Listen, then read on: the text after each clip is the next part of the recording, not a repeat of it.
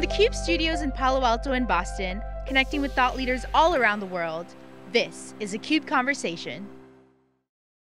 Hello everyone, welcome to the CUBE special coverage of the AWS Summit, San Francisco, North America, all over the world, and most of the parts, Asia Pacific, uh, Amazon Summit is the hashtag. This is part of the CUBE virtual program where we're going to be covering Amazon Summits throughout the year. I'm John Furrier, host of theCUBE, and of course, we're not at the events, we're here in the Palo Alto studios with our COVID-19 quarantine crew, and we got a great guest here from AWS, Dave Brown, Vice President of EC2, leads the team on Elastic Compute and its business, where it's evolving, and most importantly, what it means for the customers in the industry. Dave, thanks for spending the time to come on the CUBE virtual program.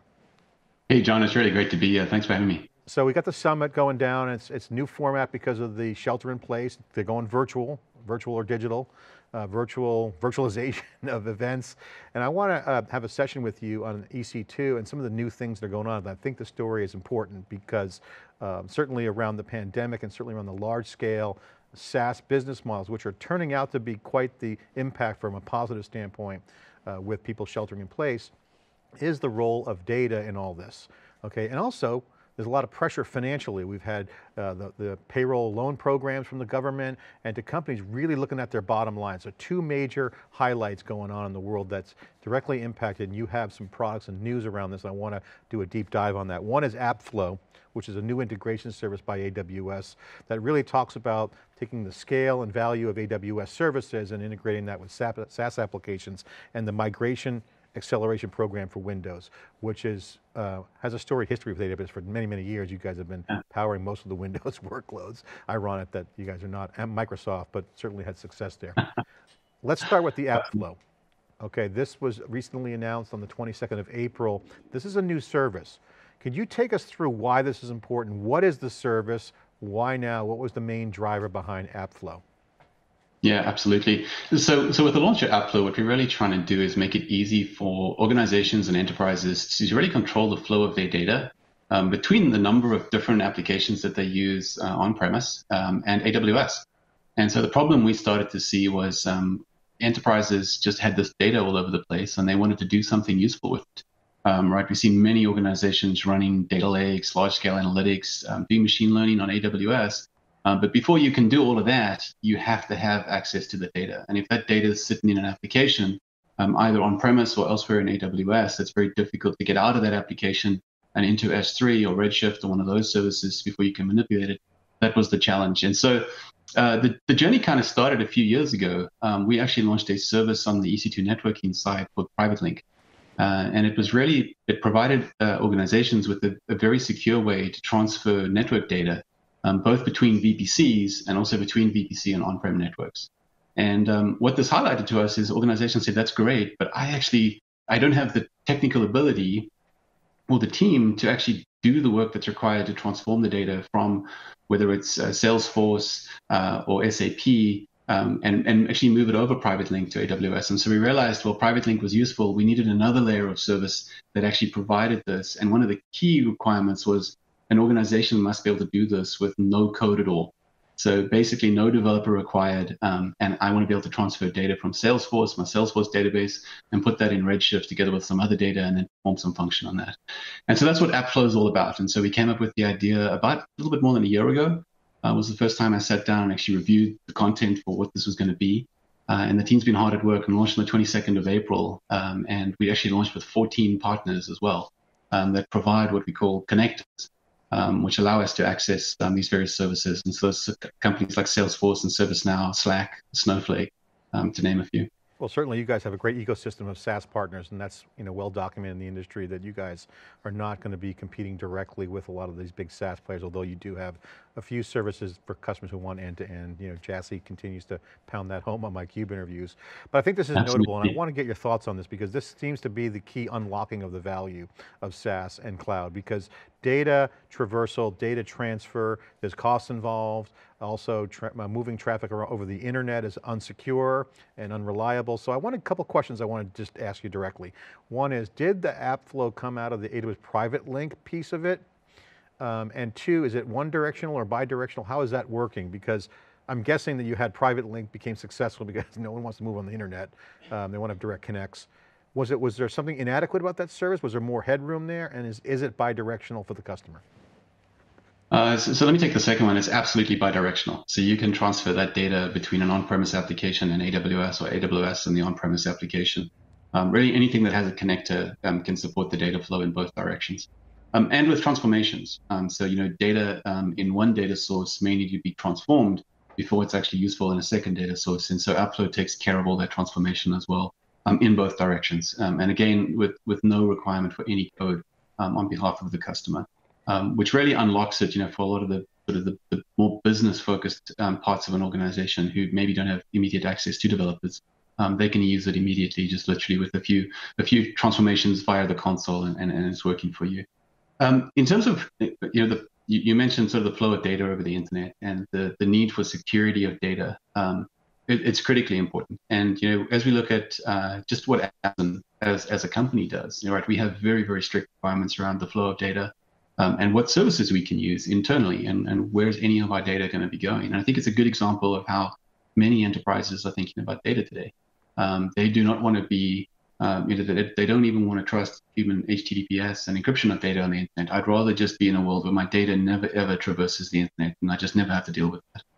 And so, you know, the, the journey all started with Private Link there. Um, and Private Link was an interesting feature because it really was a change in the way that we asked our customers to think about networking. Nothing like Private Link has ever existed in the sort of st- standard networking you know, that an enterprise would normally have. It's kind of only possible because of what VPC allows you to do and what the software-defined network on AWS gives you. And so we built Private Link, and uh, as I said, you know, it, it, customers started to adopt it. They loved the idea of um, being able to transfer data either between VPCs or between on-premise or between their, their own VPC and maybe a third party provider like Snowflake has been a very big adopter of Private Link, and they have many customers using it to get access to Snowflake databases in a very secure way.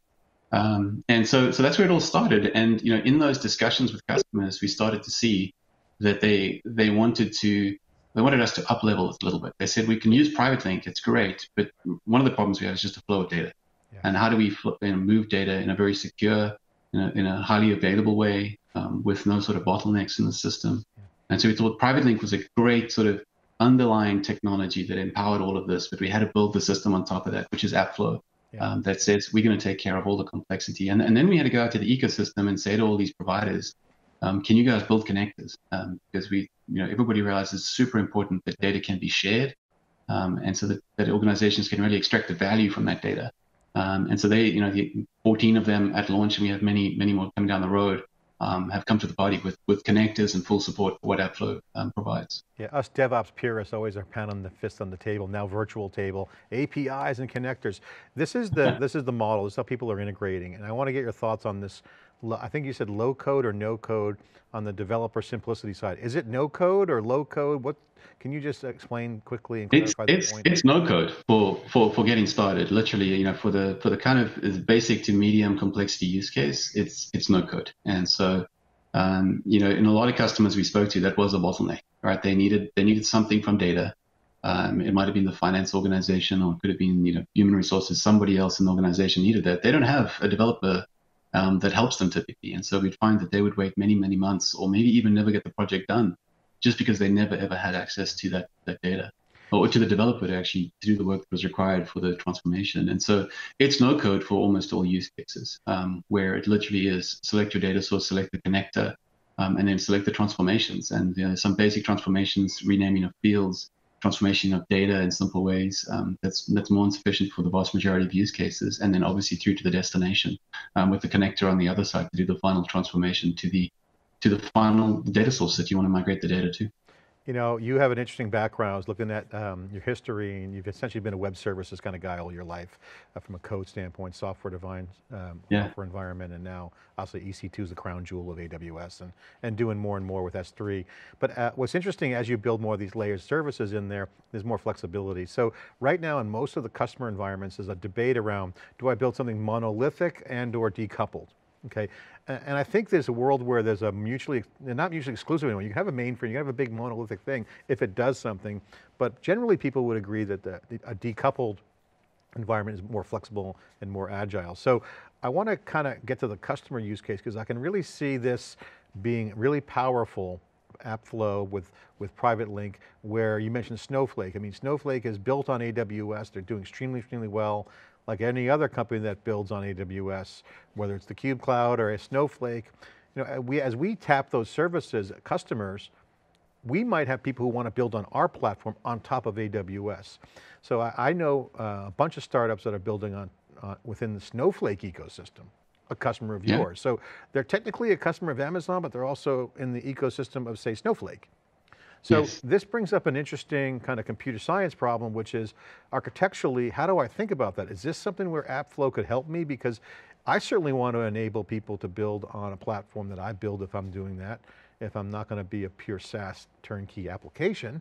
But if I'm going to bring partners in and do integration, use the benefits of the goodness of an API or connector driven architecture, I need that. So explain to me how this helps me or doesn't help me. Is this something that makes sense to you? Does that, it, does this question make sense? How do you react to that?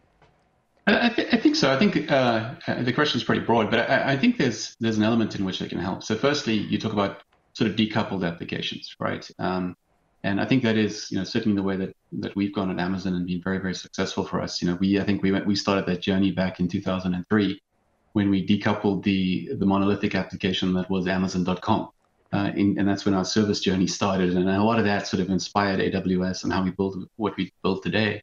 And we see a lot of our customers doing that, moving to smaller smaller applications. It just works better. It's it's you know easier to debug. Um, there's ownership at a, at a very controlled level, so you can let all your engineering teams have very clear and crisp ownership. Um, and it, it just drives innovation, right? Because each little component can innovate without the the burden of the rest of the ecosystem. Uh, and so that's what we really enjoy.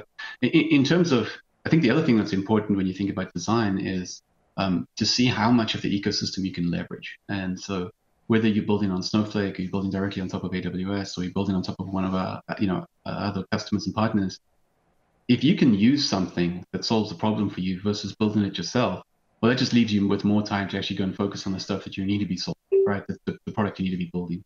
Um, and so, um, in, the, in the case of AppFlow, I think if there's a need for transfer of data, um, you know, between, for example, Snowflake and some data warehouse that you as a as, as, a, as an organization are trying to build on, on the Snowflake and infrastructure, AppFlow is something you could potentially look at. Um, it's certainly not something that you could just use for, you know, it's, it's very specific and focused to the flow of data um, between services from a data analytics point of view. Um, it's not really something you could use from an API point of view or messaging between services. Um, it's more really just facilitating that flow of data and the transformation of data um, to get it into a place that you can do something useful with it. And you um, but like any of our services, there's no reason I mean, it's a level of coding couldn't be used any layer uh, in the stack. Yeah, so it's a, it's a level of integration, right? There's no code yeah. to code, depending on how you look at it. Um, cool. Yeah. Um, customer use cases, you mentioned um, large scale analytics. I thought I heard you say uh, machine learning data lakes. I mean, basically anyone who's using data is going to want to tap some sort of data repository and figure out how to scale data when appropriate. There's also contextual relevant data that might be specific to say an industry vertical or a database. And obviously AI becomes the application for all of this. If I'm a customer, exactly. how does AppFlow relate to that? What, how does that help me and what's the bottom line? Yeah. So I think there's two parts to that journey, and, and um, you know, depending on where customers are. And so there's, you know, we do have millions of customers today um, that are running applications on AWS. Over the last few years, you know, we've seen the emergence of data lakes, um, really just the storage of a large amount of data, typically in S3, um, that then companies want to extract value out of and use in certain ways. Um, obviously, we have many, many tools today, um, you know, from Redshift, Athena that allow you to you know utilize these data lakes and be able to run queries against this information. Uh, things like EMR and one of our older services in this space. Um, and so doing some sort of large scale analytics. And more recently, you know, services like SageMaker are allowing us to do machine learning. And so being able to run machine learning across an enormous amount of data that we have stored um, in AWS. And there's some stuff in the IoT uh, workload use space as well that, that that's, that's emerging. And, and, many customers are using that. Um, there's obviously many customers today that, that aren't using it on AWS, potential customers for us, um, that are looking to do something useful with data. And so the one part of the journey is, you know, setting up all of that infrastructure. And we have a lot of services that make it really easy to do machine learning and do analytics and that sort of thing. And then, you know, then the other problem, the other side of the problem, which is what AppFlow is addressing, is how do I get that data to S3 or to Redshift to actually go and run that machine learning workload? Um, and that's that's what it's really unlocking for customers. And it's not just the one-time transfer of data, the other thing that AppFlow actually supports is the continuous updating of data. And so if you decide that you want to have a, a, a view of your data in S3, for example, in a data lake, that's kept up to date, you know, within a few minutes or within an hour, you can actually configure AppFlow to do that. And so the data source could be Salesforce, it could be Slack, it could be whatever data source you want to want to pull in, and you continuously have that flow of data between those systems. And so when you go to run your machine learning workload or your analytics, it's all continuously up to date, and you, you don't have this problem of you know, let me get the data right. Uh, and you know, when I think about some of the the data jobs that I've run in my time as you know back in the day as an engineer on early EC2, um, you know, a small part of it was actually running the job on the data. A large part of it was how do I actually get that data and is it up to date? Yeah, up to um, date is critical. I think that's the big feature there is that this idea of having the data connectors really makes the data fresh because if you go through the modeling and you realize, well, I missed a big patch of data, the machine learning is not exactly. Effective. I mean, it's only exactly data. Um, and the other thing is it's very easy to bring in new data sources, right? Um, you think about how many companies today have an enormous amount of data just stored in silos and they haven't done anything with it. They may have, often it'll be, it'll be a conversation somewhere right around the around the coffee machine, hey, we could do this and we could do this, but um, they haven't had the developers to help them and, and they haven't had access to the data and they haven't been able to move the data and to put it in a useful place. And so I think you know what we're seeing here is with AppFlow really the unlocking of that because going from that initial conversation to actually having something running literally requires no code. Log into the AWS console, configure a few um, you know connectors and and it's up and running and you're ready to go and you can do the same thing with SageMaker or any of the other services we have on the other side that make it really simple to run some of these these ideas that just historically have been just too complicated. okay, going. so take me through that console piece. Just walk me through. I'm in, you sold me on this. I just came at a meeting with my company and I said, hey, you know what? We're blowing up this siloed approach. We want to kind of create this horizontal data model where we can mix and match connectors based upon our needs. So, okay, yeah. what do I do? I, I'm using SageMaker, um, using some data, I got S3, I got an application. What, what do I do? I'm yeah. connecting what? S3 yeah, well, to the app? Yeah, so the, the, so the simplest thing is, and you know, the simplest place to find this actually uh, is on Jeff Barr's um, blog that he did for for the release. Right, Jeff always does a great job in demonstrating how to use our various products. Um, but it literally is going into the standard AWS console. Um, you know, which is which is uh, the console that we use for all of our services. Um, I think we have 200 of them, so it is getting kind of challenging to find them all in that console as we continue to grow. Um, and find AppFlow. AppFlow is is a top level um, service, and so you'll see it in the console. Um, and and the first thing you got to do is you got to configure your source connector. And so there's a connector that you know where, where's the data coming from. Um, and as I said, we had 14 partners. You'll be able to see those connectors there and see what's what's supported. Um, and obviously, there's the connectivity. Um, you know, do you have access to that data? Or where is that data running? Um, AppFlow runs within AWS, and so you would need to have either VPN or Direct Connect um, back to your organization if if the data source is on premise. If the data source happens to be in AWS, it'll obviously be in a VPC, and you just need to configure some of that connectivity functionality. So no um, code if the connectors are there, but what if I want to build my own connector? Uh, so building your own connector, uh, that is something that we're working with third-party part, uh, parties with right now. Um, I, I, could be corrected. I'm not 100% sure whether that's available. It's certainly something I think we would allow customers to do, um, is to extend sort of either the existing connectors or to add additional transformations as well. Um, and so you'd be able to do that. Um, but the transformations that the vast majority of our customers are using are literally just in the console with you basic. Up some of the bigger apps that people have and just building those connectors. How does a yeah. partner get involved? You got 14 partners now. How do you extend the partner base? Contact an Amazon partner manager, or you send an email to someone. How does someone get involved? What's the what are you what are you recommending? So there are a couple of ways, right? Um, you know, we have an extensive partner ecosystem that the vast majority of these um, ISVs are already uh, integrated with, and so we have you know, we have the 14 we launched with. Um, we also pre-announced SAP, um, which is going to be a very critical one for the vast majority of our customers. Um, having deep integration with SAP data and being able to bring that seamlessly into AWS, that'll be that'll be launching soon.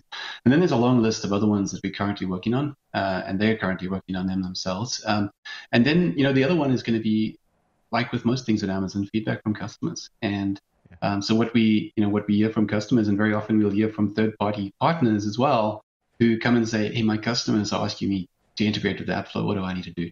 Yeah. And so, you know, just reaching out to AWS um, and uh, letting them know that you'd be interested in integrating. If you're not part of the partner program, um, you know, the team would be happy to integrate, uh, engage and bring you on board. So, Classic um, it's really Amazon very... playbook. Get the top use cases nailed down. Listen to customers and figure it out. Great stuff, exactly. Dave. Yeah. Really appreciate it. I'm looking forward to digging into AppFlow, and I'll check on Jeff Barr's blog. Uh, I'm sure it's April 22nd was the launch date, probably had it up there. Um, one of the things. I want to just jump into now, moving to the next topic is the cost structure. A lot of pressure on costs.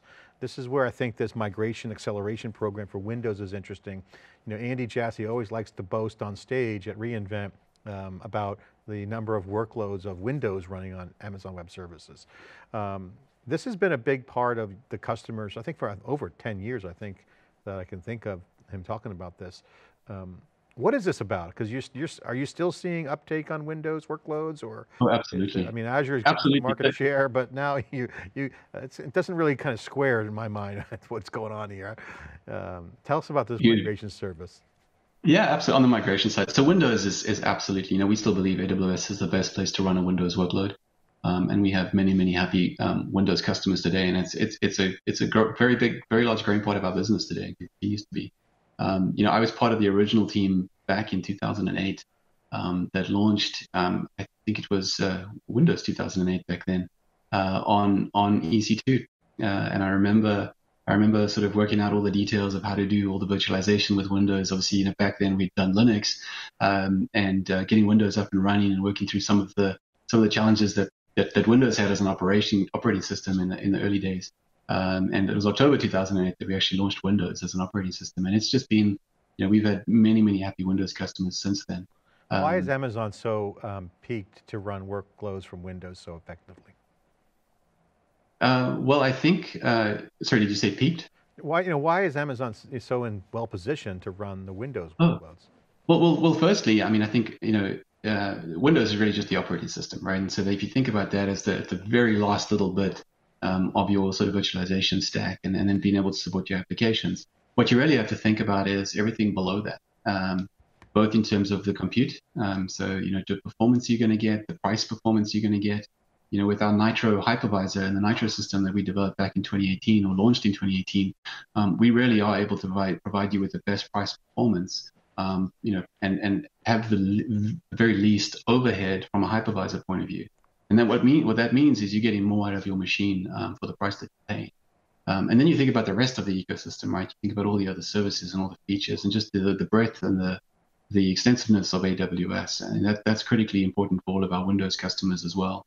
And so you're going to have your things like Active Directory and all those sort of things that are very Windows specific, and we can absolutely support all of those um, as you know natively, um, and then the Windows operating system as well. You know, we have things like our um, various agents that you can run inside the Windows box to do more maintenance and management.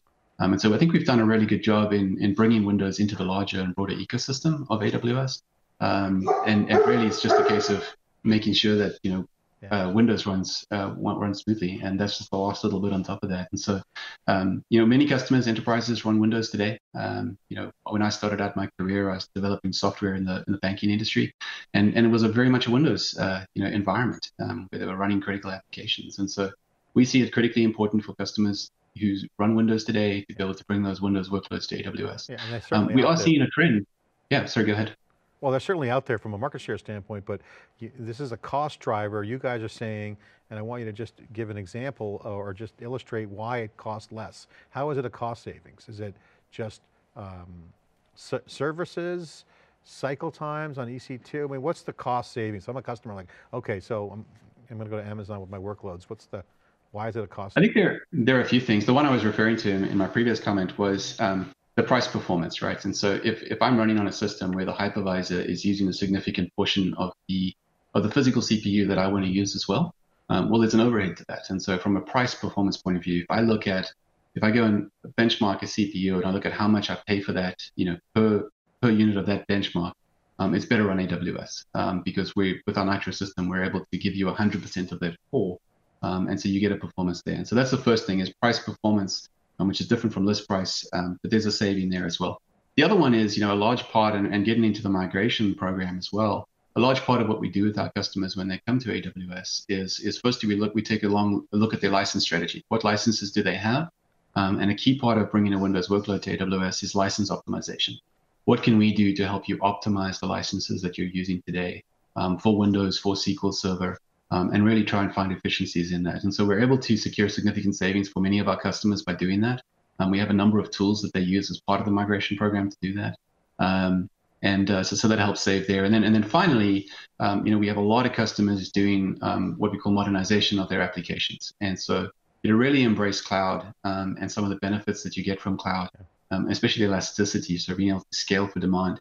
It's very difficult to do that when you're bound by a license for your operating system because every box you run, you have to have a license for it. And so, you know, turning auto scaling on, you've got to make sure you have enough licenses for all these Windows boxes you, you're seeing. And so, that that that the, the push the cloud's bringing we've seen a lot of customers move uh, Windows applications uh, from Windows to Linux, um, or even move SQL Server from SQL Server um, to SQL Server on Linux. And so do a do a, or, or another database platform and, and do a modernization there um, that really allows them to to benefit from the elasticity that cloud provides without having to constantly worry about licenses.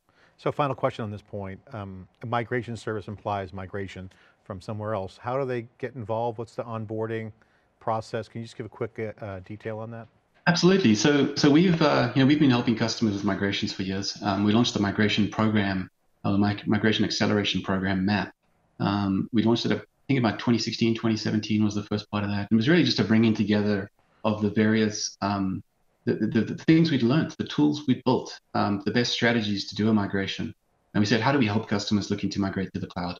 And um, so that was that's what MAP's all about. Is just a three phase. We'll help you assess the migration we help you do a whole lot of planning, um, and then ultimately we help you actually do the migration. Um, we partner with a number of external um, partners and, and, ISVs and uh, GSIs um, who also very, work very closely with us to help customers do migrations. And so what we launched in April of this year with the Windows migration um, program is really just more support for a Windows workload as part of the broader migration acceleration program. Um, and uh, you know, there's benefits to customers. It's a smoother migration. It's a faster migration in, in, in almost all cases.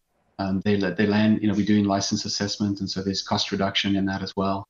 Um, and ultimately, you know, there's there's other benefits as well that we we, we offer them uh, if they partner with us in bringing their workload to AWS. And so, getting involved is really just you know reaching out to one of our AWS sales uh, folks or one of your account managers if you have an account manager, um, and talking to them about workloads that you'd like to bring. And we even go as far as helping you identify which applications are easiest to migrate. Um, and so that you can kind of get going with some of the easier ones while we help you with some of the more difficult ones. Um, and it's really just about removing those roadblocks to bring your services to AWS. Takes the blockers away. Uh, Dave Brown, Vice President of EC2, the crown jewel of AWS, breaking down app flow and the migration to Windows services. Great insights, appreciate the time. We're here with Great. Dan Brown, uh, VP of um, EC2, as part of the virtual cube coverage. Uh, Dave, I want to get your thoughts on um, an industry topic. Um, Given what you've done with EC2 and the success and with COVID-19, you're seeing that scale problem play out on the world stage for the entire population of the global uh, world. This is now turning non-believers into believers of DevOps, web services, real time. I mean, this is now a moment in history with the challenges that we have, even when we come out of this, whether it's six months or 12 months, the world won't be the same. And I believe that there's going to be a Cambrian explosion of applications in an architecture that's going to look a lot like cloud, cloud native. You've been doing yeah. this for many, many years, key architect of EC2 with your team. How do you see this playing out? Because a lot of people are going to be squirreling in rooms when this is when this comes back. They're going to be video conferencing now, but when they have meetings, they're going to look at the, the window of the future and they're going to be exposed to what's failed and saying, we need to double down on that. We have to fix this. So there's going to be winners and losers coming out of this pandemic really quickly. And I think this is going to be a major opportunity for everyone to rally around this moment to reset. And I think it's going to look a lot like this decoupled, this distributed computing environment, leveraging all the things that we've talked about in the past. So what's your advice and how do you see this evolving?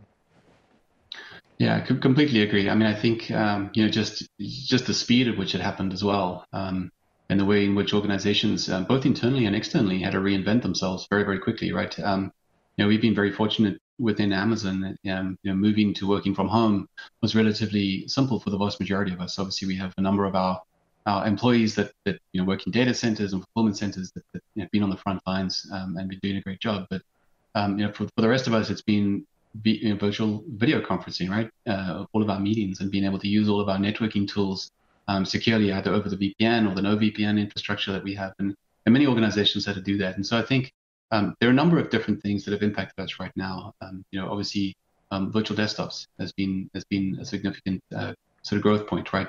Folks don't have access to their physical machine anymore. Um, they're now all having to work remote, and so um, a service like Workspaces, which runs on EC2 as well, um, has been a critical service there to support many of our largest customers. Our client VPN service that we have within EC2 on the networking side has also been uh, critical for many large organizations as they see more of their staff working every day remotely. Um, has also seen you know, being able to support a lot of customers there.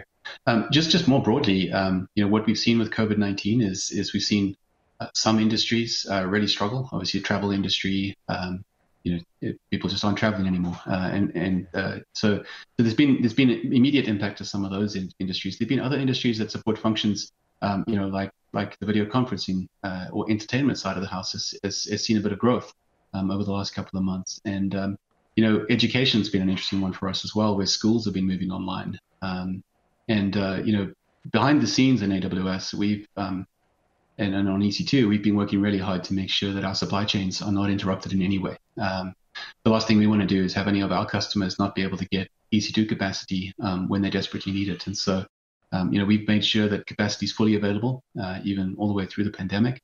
Um, and we've even built, been able to support customers with, uh, you know, I remember one customer who told me that next day they're going to have uh, it was more than 100,000 students coming online um, and they suddenly did grow their business, uh, you know, by some crazy number. Um, and we were able to support them and give them that capacity, which was way outside of any sort of demand signal. I think this is the Cambrian explosion that I was referring to because a whole new set of new things have emerged.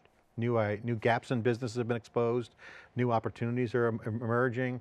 This is about agility, it's real time now. It's actually happening for everybody, not just the folks on the inside of the industry. This is going to create a reinvention. So it's ironic, I've heard the word reinvent mentioned more times now over the past three months than I've heard it represented to Amazon, because that's your annual conference, yeah. reinvent, but people are resetting and reinventing. It's actually Absolutely. a tactic. This is going on. So they're going to need some cloud. So what do you, what do you say to that? So, I mean, the first thing is making sure that we can continue to be highly available, uh, continue to have the capacity. The, the, worst scenario is not being able to have the capacity for our customers, right? Um, we, we, did see that with some providers, um, you know, just, and, and that honestly on our side is just years and years of experience of being able to manage supply chain. Uh, and, and, the second thing uh, is obviously making sure that, that we're, um, we remain available, um, that we don't have issues. And so, you know, with all of our stuff going, going um, remote and working from home, all my teams are working from home um, being able to support AWS in this environment has been, you know, we haven't missed a beat there, um, which has been really good. We were well set up to be able to absorb this. Um, and then obviously re- remaining secure, which was our highest priority. Um, yeah. And then, you know, innovating with our customers and being able to, and, and that's both, you know, products that we're going to launch over time.